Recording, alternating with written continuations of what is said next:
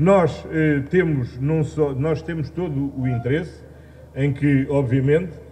a partir, de, do, de, de, a partir do momento em que esteja desbloqueado a construção da interligação de gás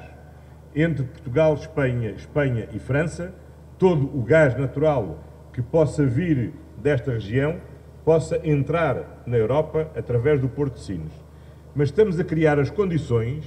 para que, enquanto é construído este gasoduto, o Porto de Sines possa funcionar como um porto de transfega do gás natural. E o Porto de Sines tem condições únicas, porque é na costa atlântica o porto mais próximo da costa do continente africano, é um porto de águas profundas,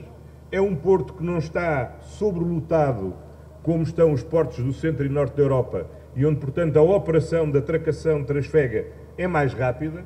e, se tivermos em conta, por exemplo, para os portos da Holanda, significa uma poupança de dois dias a ir, dois dias a vir, o que significa uma poupança de quatro dias por viagem. Tendo em conta que os grandes metaneiros são um bem escasso a nível mundial, poupar quatro dias em cada viagem é aumentar imensa a capacidade de exportação e de fornecimento de gás. E por isso, o gasoduto é obviamente uma peça essencial, mas até o gasoduto estar construído, nós podemos desde já utilizar o Porto de Sines e, naturalmente, o gás moçambicano está é muitíssimo bem-vindo se escolher o Porto de Sines como o primeiro ponto de entrada na, na Europa.